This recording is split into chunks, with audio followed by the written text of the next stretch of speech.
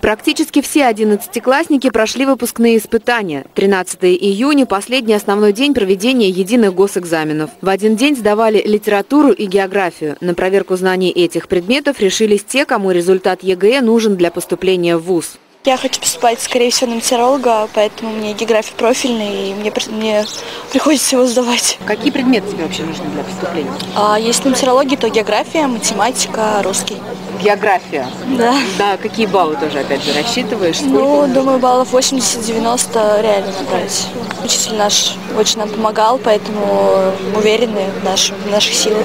На решение заданий по географии было дано три часа, по литературе на полчаса больше. Школьники использовали все отведенное время. И, по словам педагогов, так было во время всех экзаменов. Аудиторный организатор Светлана Вишникина дежурила на 8 ЕГЭ и ни разу не видела, чтобы выпускники уходили хотя бы раньше, чем за 15 минут до окончания экзамена.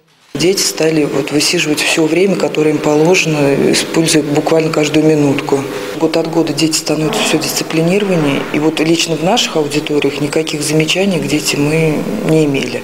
Не было замечаний и на этот раз. Теперь пункт проведения единых госэкзаменов в Заречном закрыт. Для проведения дополнительных экзаменов, если учащиеся не смогли прийти на основные из-за болезни или пропустили нужные ЕГЭ из-за того, что в этот день сдавали другой, организованы резервные дни выполнения работ по разным предметам. Правда, сдавать их школьникам придется в Пензенском пункте проведения экзаменов. Елена Степкина, Андрей Лешин, телерадиокомпания «Заречный».